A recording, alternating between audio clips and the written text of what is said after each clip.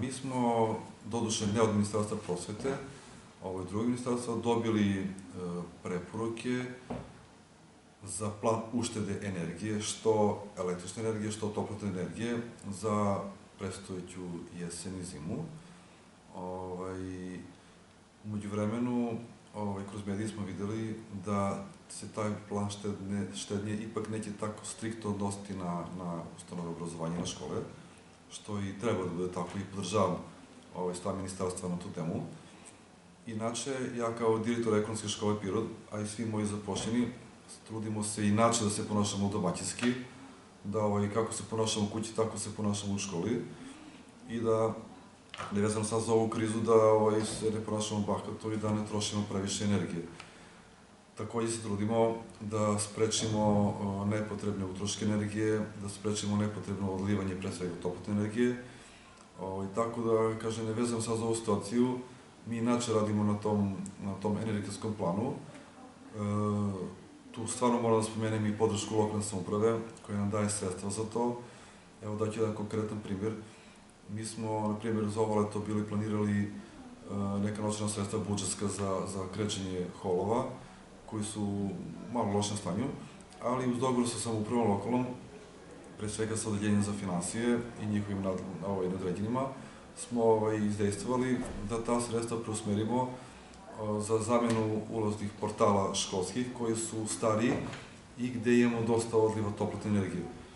Tako da, kažem, nevezano za, za ove dopise i za ovu kampanju, mi se stvarno trudimo da ne trošimo. U principu u školama i ne postoji neka velika mogućnost ni za, poveć, za povećanje potrošnje postoji. Ali za neke velike uštede ne postoji ovaj, neki veliki prostor u školi su potrošači osvetljenje koje mora da postoji kada je, kada je slabija svetlost dnevna. Ovaj, to se za računare koji moraju da rade zbog nastave. E, klima uređaj preko leta i onako nema nastave, pa se to vrlo redko i vrlo malo koristi. E, grejanje je centralno gradsko, da kažem, tako da i, eto, mi smo pre par godina ugradili postanicu i dosta je dobro u školi, imamo tu saradnju odlično sa toplanom. Tako da, kajem, inače ne postoji neki veliki prostor za uštedu. Ovaj, tim dopisom se aludiralo da se, da se smanji potrošnja kada nema nastave, a to su vremenski termini pre početka nastave, posle nastave, da ne bude nepotrebno paljenja sjelica, ali opet se vraća na to da u školama inače ne postoji veliki prostor za uštedu. A kažem, još jedno drago mi je za, za ovaj potez ministarstva uh, od juče prekiče, baš je ministar bio u medijima, jer ipak uh, deca su već dovoljno izgubila, korona je već dve, tri godine, nastava, trudimo se da bude što regularnija, shodno ovaj, tim uslovima spoljašnjim, tako da bi stvarno ovaj, bila velika šteta da dete izgubi još jednu godinu ovaj, zbog nekih možda minimalnih, minimalnih ušteda u energiji. Ako mogu da kažem još nešto, ovaj, naša škola je, to je bilo kroz medije, ovaj, preko leta, to je jedna od dve škole u Srbiji, dobili smo donaciju od oko 20.000 dolara za ugradnju solarnih panela.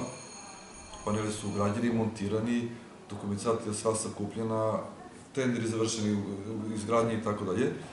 I sva je dokumentacija sada u elektrodistribuciji u Nišu i čekamo samo bukvalno priključak i da, da to krene. Tako da ćemo ovaj, i na kontu toga da imamo mi kao škola veliku uštedu energije. Čak i u slučaju restrikcija mogućih ovaj, imat ćemo svoju električnu energiju. I ja sam gledao baš proračune, to su radila stručna lica, da će škola na nivou godine negde biti na nuli to što u toku leta više proizvodimo, ne potrošimo, to ide u sistem. U toku zime manje proizvedemo, crpimo sistema, tako da ćemo negde na nivou godine da budemo možda i na nuli. Što je dobro da, znači, eto, naša škola će ovaj, uticati da se što manje troši finanskih sredstava, da se manje utreće sistem, tako da i u slučaju da smo ovaj, pogodili trenutak i ovaj, uklopili su celo ovu priču i kampanju.